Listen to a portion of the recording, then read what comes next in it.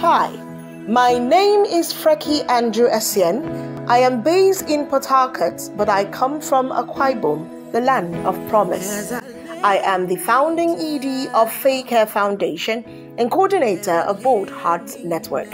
I am a public health professional and researcher, a non-profit management consultant, and a disability inclusion strategist. I identify as a woman with disability because I use a wheelchair as a result of spinal cord injury. After all that I've been Looking good, they say, is good business.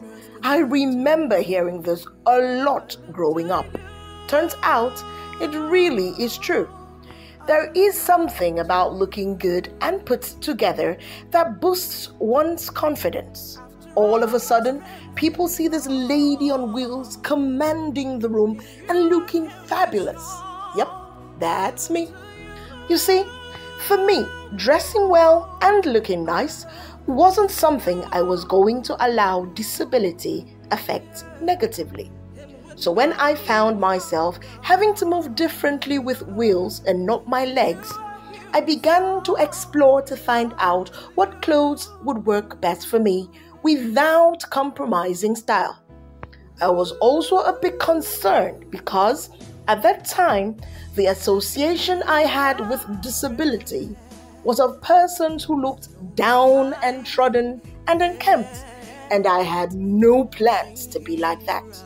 As far as I was and still am concerned, I am alive and therefore need to look my best anytime possible. My typical wardrobe has many lovely flat shoes. I love heels, but had to let go because of how it affected my legs. My wardrobe also contains lots of trousers as I feel more comfortable wearing those since I am sitting. I have many lovely tops, including African inspired blouses. And when I wear a gown, I simply become the belle of the ball best way I can describe my style and my sense of fashion, I think, is simply me.